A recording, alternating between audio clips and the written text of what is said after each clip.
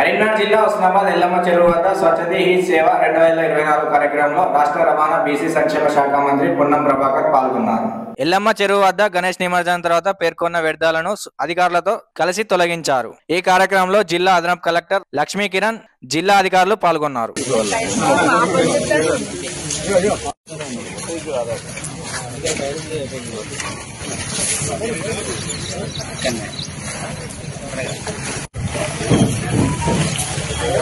ఎక్కడ